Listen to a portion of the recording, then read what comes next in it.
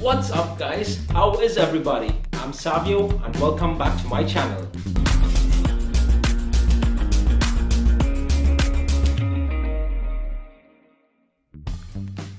Well, let's talk about getting the best deals on golf equipment and accessories for the budget golfer.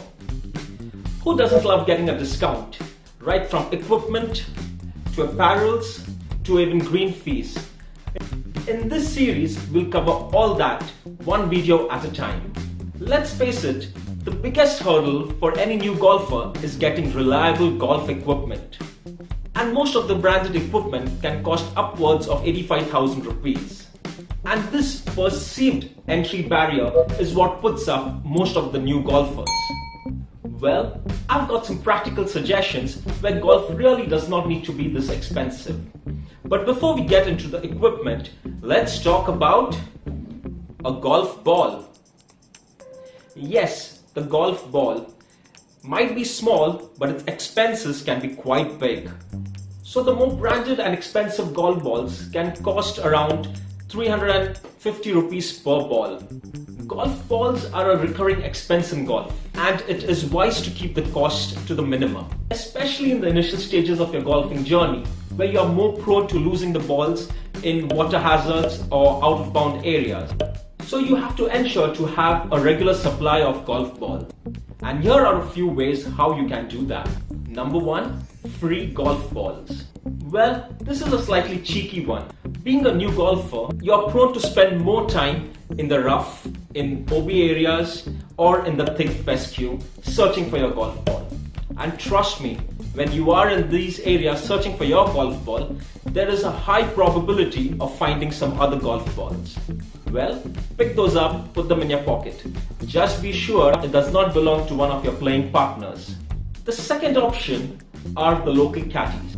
This is quite prominent around the golf courses in the country. Well, when you hit the balls in water hazards or in any area where you are unable to access, most of the times it's the local guys over there that go ahead find these balls. It's like a side hustle for them and they end up selling these balls back to you at the entrance of the golf course or maybe around the course. The good thing is that they resell it for just 20 bucks. Well, definitely the ball quality is good because some of them probably have not even seen an entire round. So you can always try your luck and see what kind of good balls can you get there. There are chances of getting pretty expensive balls for just 20 bucks.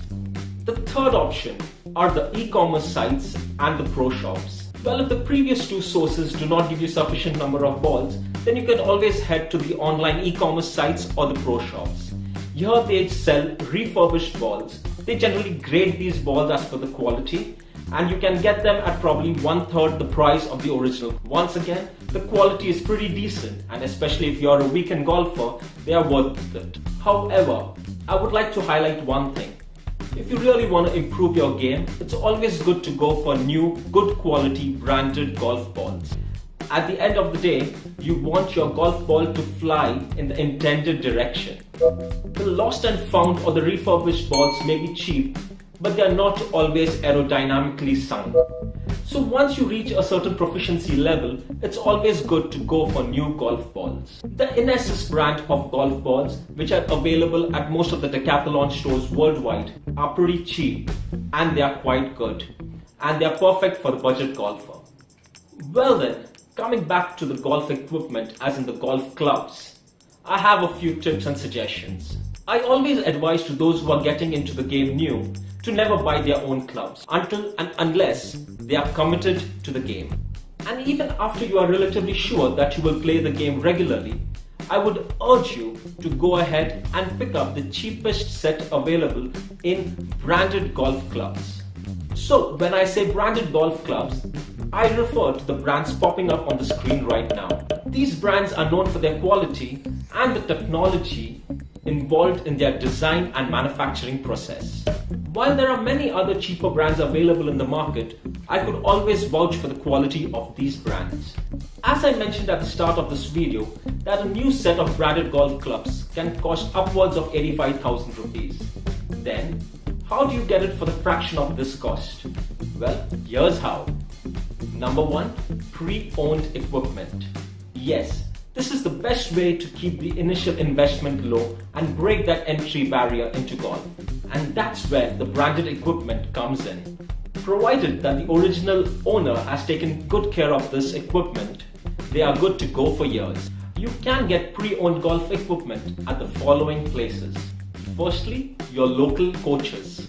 Local coaches are a good place to start with when you're looking for your own set of clubs. There are two main reasons for this. Number one, they have seen you swing a golf club and they know which will be the best suited club for you. Number two, they are regularly in touch with many of the members who want to sell off their old clubs.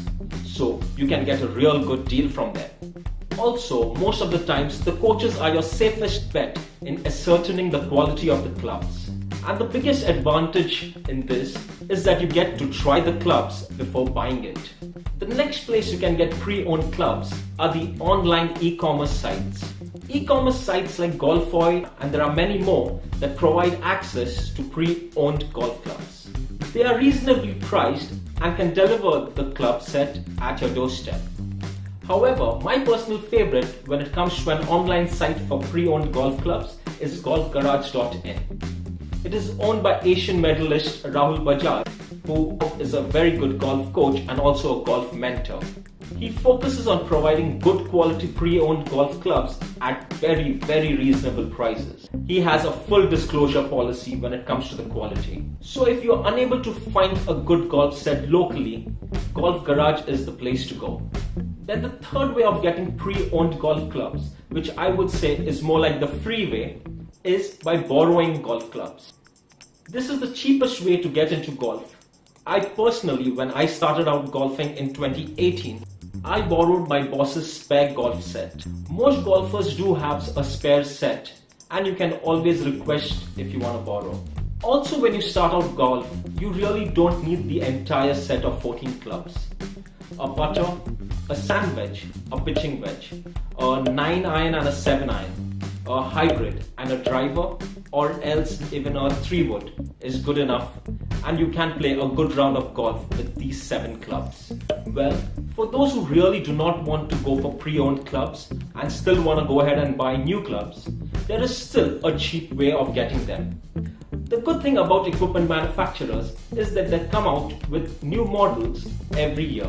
This causes most of the online stores and even pro shops to give heavy discount on their unsold inventory. It's always good to track such flash deals where you may get the 85,000 rupees club set for even as low as 25,000 rupees. Just like your golf swing, timing is everything here in getting that sweet deal. So these were some quick tips on getting value for the buck you spent on your golf equipment. In subsequent videos, I will talk about how you can get great deals on golf apparels and golf accessories too. Well, if you found this video informative, please do give it a like and if you've not already subscribed, please do subscribe. It does help a long way. So until next time, here's Savio signing off. I'll see you soon in my next video. See ya.